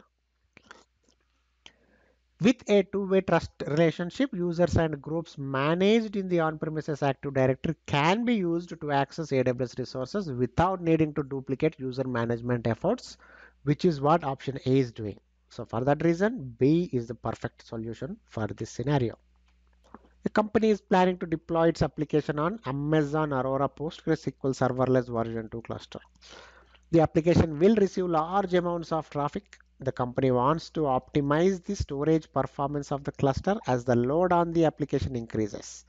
Which solution will meet these requirements most cost effectively. So this is trying to test us different storages that are available on the Aurora database. Okay, let's go through the options. Option A is trying to use Aurora standard storage configuration and we already know without even understanding this, usually the standard storages are not that cheap. Um, it, it does provide a balance of performance and cost. It dynamically adjusts storage capacity based on the workload's needs. However, it may not provide the highest level of performance during peak traffic loads as it prioritizes cost effectiveness over performance and we are trying to optimize the storage performance with the cheap. So it has to be cheap, but it has to optimize the storage performance at the same time. Option B, provisioned IOPS allows you to specify a consistent level of input output performance by provisioning a specific amount of IOPS. While this option ensures predictable performance, it may not be the most cost-effective solution, especially if application workload varies significantly over time. Provisioned IOPS typically incurs higher costs compared, to other storage types. And option D, Aurora IO optimized storage is designed to deliver high levels of IO performance for demanding workloads. It is optimized for applications with high throughput and low latency requirements. While this option may provide the best performance, it may also come with higher costs compared to other storage configurations. So which one do we pick? We'll go ahead and pick the general purpose. Why general purpose? Because this provides a baseline level of performance with the ability to boost to higher levels when needed, only when needed. Remember, it offers a good balance of performance and cost, making it suitable for workloads with varying levels of activity. This option can provide adequate performance for the application while optimizing costs, especially if the workload experiences periodic spikes in traffic. That's what we are looking for.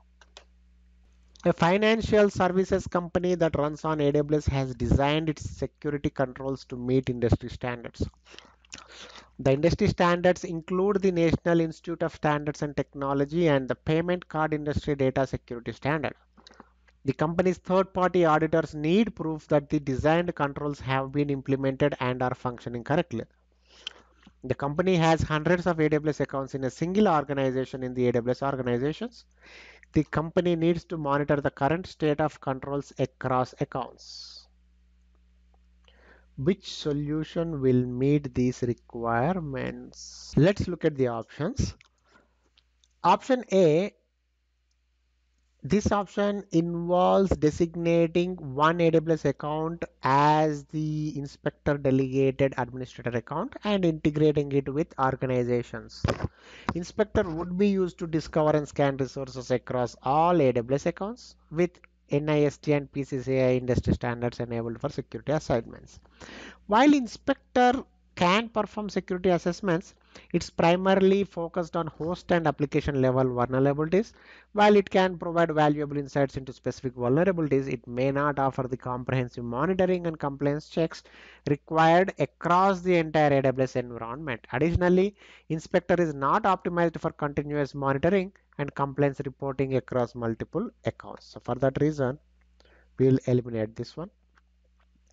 And option B, this option um, designates one account as guard duty delegated administrator account, enabling guard duty to protect all member accounts within the organization.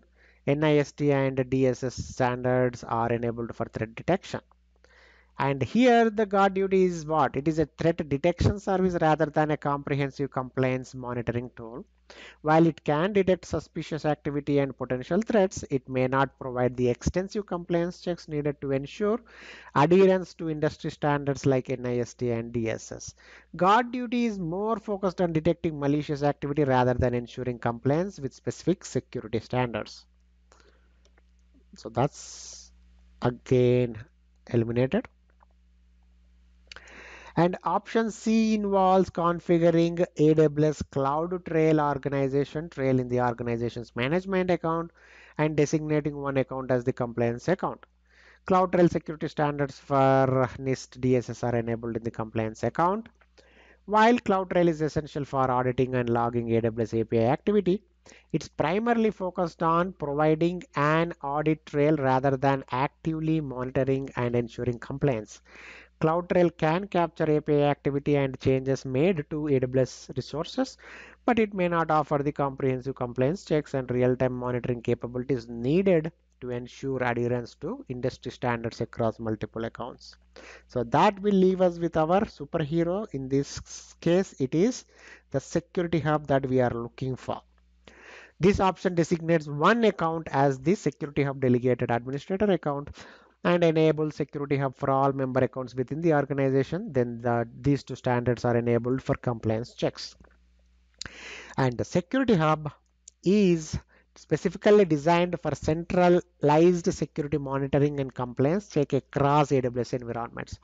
It aggregates findings from various security services and third-party tools, providing a comprehensive view of security alerts and compliance status.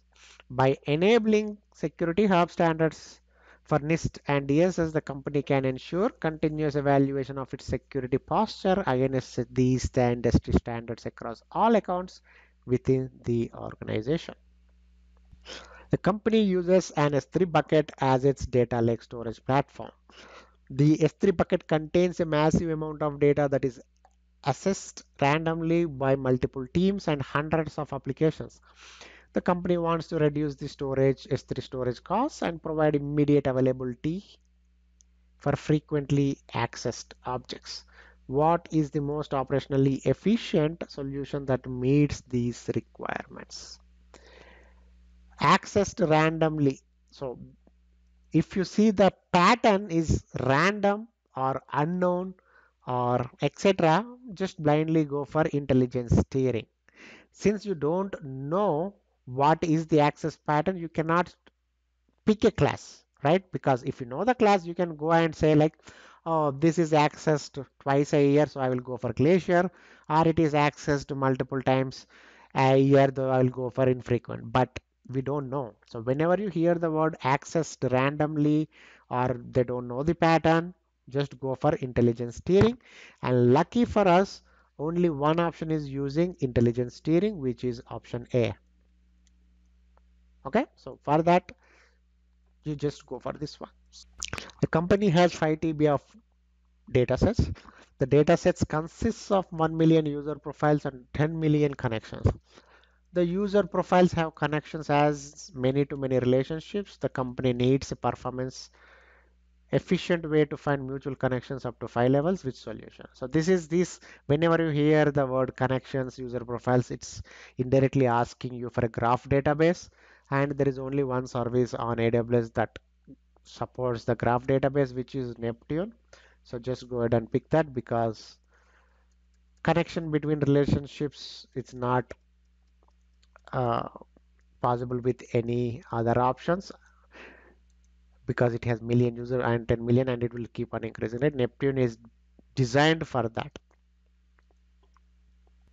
a company needs a secure connection between its on-premises environment and aws this connection does not need high bandwidth and will handle a small amount of traffic. The connection setup should be set up quickly. What is the most cost effective method to establish this one? Okay. First of all, you can immediately eliminate direct connect because this takes at least a month to happen and it's definitely not most cost effective because you, need to reach out to your uh, cable provider and they will lay cable between your company and AWS so it's not cheap. And again it's a small amount of traffic which you can ignore that. So let's go through other options. Client VPN this allows remote users to securely connect to AWS resources from their devices. While a client VPN can provide secure access, it may not be the most suitable option for connecting an entire on-premise environment to AWS. Client VPNs are typically used for individual user access rather than connecting entire networks. And option C, a Bastion host is a special purpose instance that acts as a gateway for securing accessing AWS resources from the on-premises environment. While a Bastion host provides a secure entry point into the environment, it does not establish a dedicated connection between the on-premises environment and AWS. So that will leave us with AWS site-to-site -site VPN connection. This one establishes a secure encrypted tunnel between the on-premises network and AWS. It allows traffic to flow securely between the two environments, providing connectivity without the need for high bandwidth. Site-to-site VPN connections are relatively quick to set up and are more are suitable for scenarios where a small amount of traffic needs to traverse between environments securely. This option aligns closely with the requirements and is likely the most cost-effective method for establishing the required connection. For that reason, we'll pick option D. The company has an on-premises SFTP file server solution. The company is migrating to the AWS cloud to scale the file transfer solution and to optimize costs by using S3. The company's employees will use their credentials for the on-premises Active Directory to access the new solution. Will use their credentials. Okay. Company wants to keep the current authentication and file access mechanisms. Which solution will meet these requirements with least operational overhead. So they want to still use the file transfer solution SFTP, which means we already uh, have seen a question similar to this. So we have to use AWS transfer family and they want to keep their own AD solution. So we cannot do anything about our moving or migrating. Okay. So for that reason, which options are using transfer family? Options C and D. So you can eliminate these two. Between C and D, what is the difference? First of all, this says transfer family SFTP endpoint. There is no such thing. Actually, it is transfer family server with SFTP endpoint. Let's assume that maybe a typo. Let's take the configure the endpoint to use the AWS directory service option as the identity provider. Do you see anything missing? Yes, it is trying to connect to AWS service option, which is like uh, to connect to existing Active Directory on AWS. There is no mentioning of how you want to connect to the on-premises. Okay, so what you can do is you can choose AWS Directory Service option as the identity provider. Then you will use AD connector to connect the on-premises Active Directory. This is what you will try to use, not this one. Okay, so this is not mentioning how you are connecting to your on-premises. If you want to learn more about this, you can read this one I specifically googled this for you guys.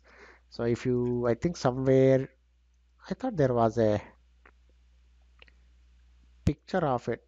Maybe not maybe not this one. But anyways you can go ahead and read this one using active directory for uh, this one for transfer family okay?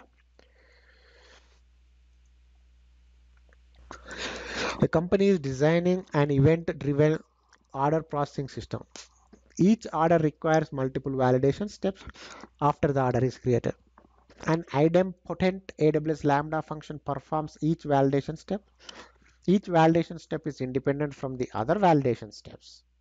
Individual validation steps need only a subset of the order event information.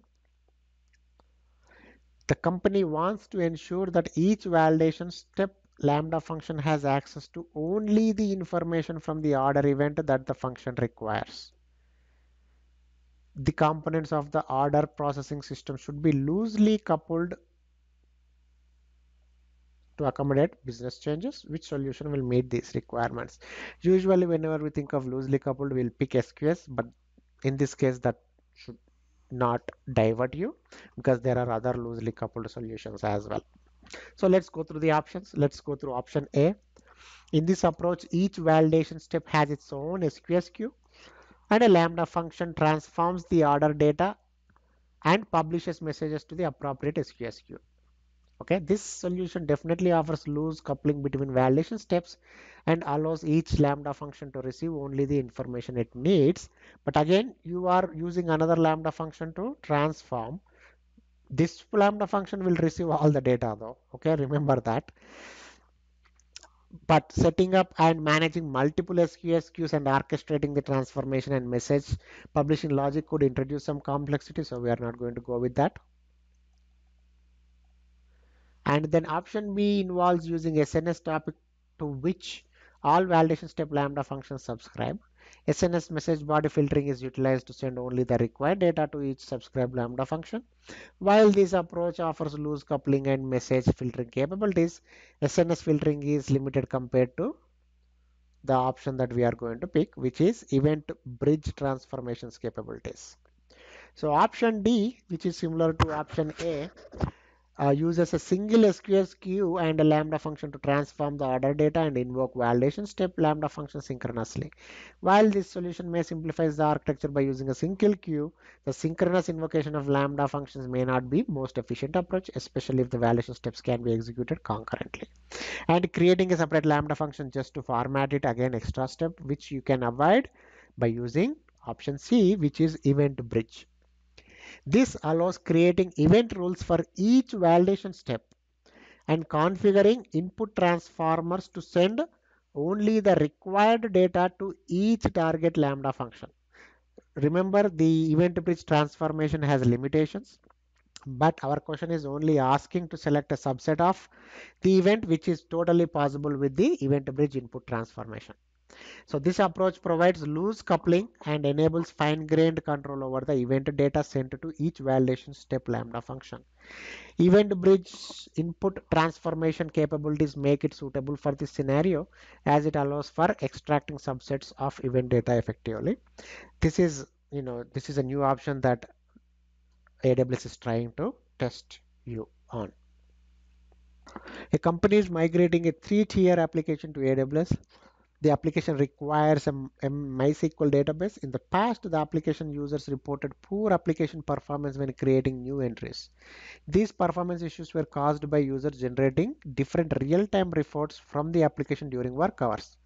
I mean, this this is just hinting at reading because of reading that is happening, and we know what exactly to do when to reduce read load. Which solution will improve the performance of the application when it is moved to AWS? Okay, let's go through option A. DynamoDB is a fully managed NoSQL database service. By importing data, MySQL data, which is a RDBMS into DynamoDB, and we refactor it, maybe uh, it will benefit from DynamoDB scalability low latency, but DynamoDB may require significant application refactoring, especially if the application relies heavily on SQL queries that are not easily translated to DynamoDB's query model. Of course, we won't go with that. Option B, while running MySQL on compute optimized EC2 instance might provide better performance compared to on-premises hardware, it may not fully address the scalability and performance issues during peak usage periods technically we don't pick EC2s since we have managed services which are better why do you want to pick that one? And then we have C and D. Both are using Aurora multi-AZ DB cluster but one with read replicas. And as I mentioned they are going to ask about read because the performance is affecting when the uh, real-time reports are reading from the database. So obviously option C will be the answer because this one uh, we are creating AZ with multiple read replicas. Okay. What does this do? Using the reader endpoint for reports allows read traffic to be distributed among read replicas, reducing the load on the primary instance during report generation. For that reason, we will go with C instead of D. The company is expanding a secure on-premises network to the AWS cloud by using an AWS Direct Connect connection. The on-premises network has no direct internet access. An application that runs on the on-premises network needs to use an Amazon S3 bucket. Which solution will meet these requirements most cost effectively? Option A this would require routing AWS traffic over a public VIF virtual interface, which means the traffic would traverse the public internet. Since the on-premises network has no direct internet access, this solution would not meet the requirement of keeping the network secure. Additionally, routing traffic over the public internet may introduce security risks and potential latency issues.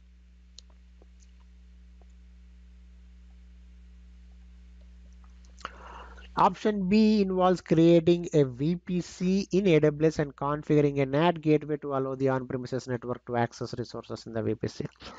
The NAT gateway would provide outbound internet access for resources in the VPC, allowing the on-premises application to access the S3 bucket securely.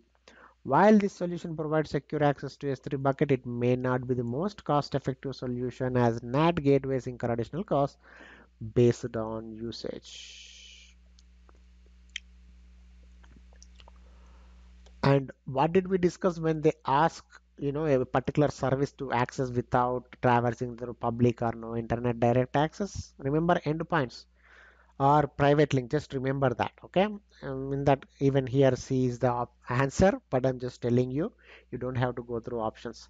So D is trying to use VPC peering, which allows communication between VPCs, but it does not extend to on-premise networks connected via direct connect. Gone. So we are left with option C. involves creating a VPC in AWS and configuring an S3 interface endpoint in the VPC. Interface endpoint allows communication between resources in the VPC and S3 without requiring internet access. By routing traffic to the S3 internet endpoint, the on-premises application can securely access the S3 bucket without traversing the public internet. This solution is cost effective as it eliminates the need for NAT gateway and minimizes data transfer costs. The company serves its websites by using an auto-scaling group of Amazon EC2 instances in a single AWS region. The website does not require a database. The company is expanding and the company's engineering team deploys the website to a second region.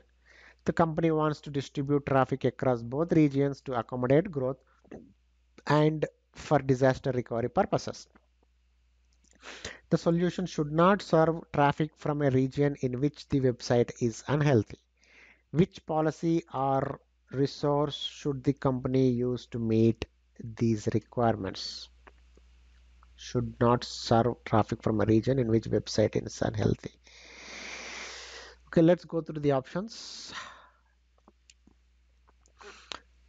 Option A, the simple routing policy which allows you to specify only one resource record set such as an IP address or DNS name for a given domain name. It does not support routing traffic to multiple endpoints or health checks across multiple regions. Therefore, this option does not meet the requirement of distributing across multiple regions or ensuring that unhealthy regions are not used. Option C, using an ALB allows you to distribute traffic across multiple EC2 instances or targets within a single region. However, ALB cannot distribute traffic across multiple regions by default. Even if you specify EC2 instance IDs from both regions in a target group, ALB can only route traffic to targets within its own region. So that will apply to option D as well. So we are left with option B. The multi-value answer routing policy allows you to specify multiple healthy records for a single DNS name. Route 53 responds to DNS queries with up to 8 healthy records selected at random.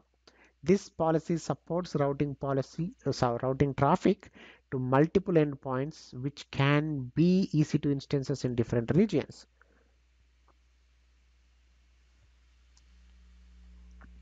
A company runs its applications on Amazon EC2 instances that are backed by EBS. The EC2 instances run the most recent Linux release. The applications are experiencing availability issues when the company's employees store and retrieve files that are 25 GB or larger. The company needs a solution that does not require the, require the company to transfer files between EC2 instances. The files must be available across many EC2 instances and across multiple availability zones. So this is, is a give, easy giveaway. It has to be available across many instances, which means they have to be shared between EC2 instances. So it's talking about EFS, which you can share between any number of EC2 instances. Okay. So not EBS and none of these. So I think we luckily we have only one option that is using EFS. So you can go ahead and pick that immediately, which is option C right we i think this is a, we have done this similar question so many times a company is running a highly sensitive application on EC2 backend by an RDS database. Compliance regulations mandate that all personally identifiable information be encrypted at rest. Which solution should a solutions architect recommend to meet this requirement? The least amount of changes to infrastructure. Okay, we already know encrypted at rest means KMS or any um, service related encryption service, right? It's not certificate. Certificates are for encryption in transit and Cloud HSM is a hardware device. Okay. And uh, it is a um, hardware security module service and generating encryption keys yeah we can use it but again it involves operational overhead so let's not go with that and option C mentions configuring SSL encryption using KMS keys, but it's not clear how this specifically addresses encrypting data at rest on the volumes. So again, we are going to go with option D because it's using EBS encryption, which allows to encrypt the EBS volumes attached to a EC2 instance, and RDS encryption, which supports encryption of data at rest using KMS keys. Okay, so combining these two with KMS keys provides a comprehensive solution for encrypting both the instance volumes and the database volumes. This ensures that all sensitive data, including PII, is encrypted at rest, thereby meeting compliance regulations. A company runs an AWS Lambda function in private subnets in a VPC.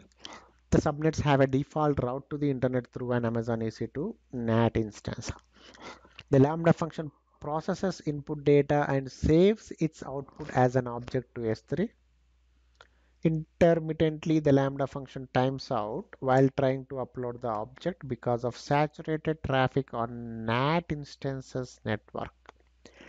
The company wants to access S3 without traversing the internet. Wow, what? How many did we see? Five questions, I guess. Without traversing Okay, the answer is either private link or an endpoint. And since we are talking about S3, it has to be gateway endpoint. And specifically, it has to be gateway interface endpoint. Anyways, if we look at it, I think option C is the one we are looking for. Not transit gateway. We have already gone through this, so I'm not going through explaining them again. So option is C, which is gateway endpoint for Amazon S3. Amazon VPC endpoints enable private connectivity between your VPC and supported AWS services. By provisioning a gateway endpoint for S3 in the VPC, the Lambda function can access S3 directly without traffic leaving the AWS network or traversing the internet. This ensures that the Lambda function can upload objects to S3 without encountering timeouts due to network congestion on the NAT instance. And the final question for this video, news company that has reporters all over the world is hosting its broadcast system on AWS. The reporters save, send live broadcast to the broadcast system. The reporters use software on their phones to send live streams through the real-time messaging protocol. Solutions architect must design a solution that gives the reporters the ability to send the highest quality streams. The solution must provide accelerated TCP connections back to the broadcast system. What should the solutions architect use to meet these requirements? So many people will confuse between A and B,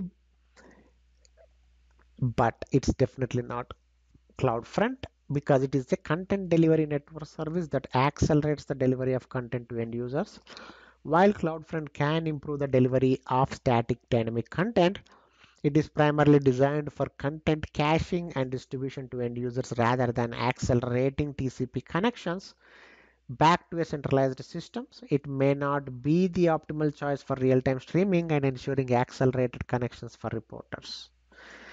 I mean, accelerated, accelerated. You can go ahead and blindly pick that one. Option C is VPN. Client VPN is a managed VPN service that allows users to securely access AWS resources and on-premises networks from anywhere using a open VPN based clients.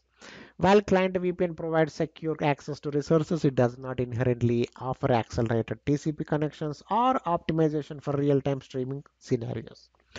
It is more focused on providing secure remote access rather than optimizing network performance and that is gone. And option D, deploying EC2 instances and associating them with elastic IP addresses does not inherently provide accelerated TCP connections or optimization for real-time streaming. While EC2 instances can handle network traffic and can be optimized for performance, managing them to ensure accelerated connections and high quality streams for reporters would require additional configuration and maintenance. Instead, we would go for dedicated networking services like AWS Global Accelerator. Sorry, I don't know why I did this. Let's underline this one. It is a networking service that improves the availability and performance of applications with global users. It uses the AWS global network to optimize the path from users to applications, improving the performance of TCP and UDP traffic.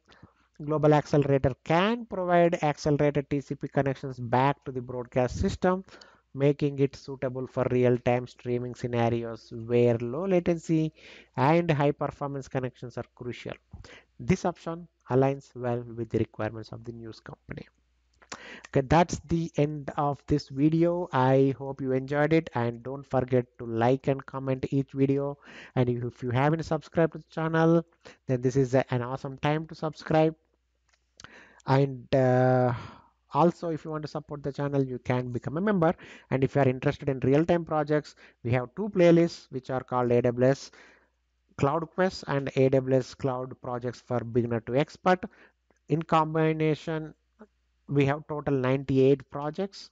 Most of them talk about the scenarios which we covered as questions in these analysis videos. So don't forget about that. And as I mentioned previously, if you are looking for a complete PDF questions with answers for any certification exam that is not on my channel, you can ask me.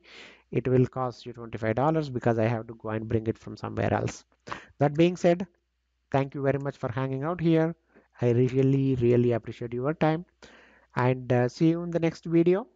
Have a great day. Peace out.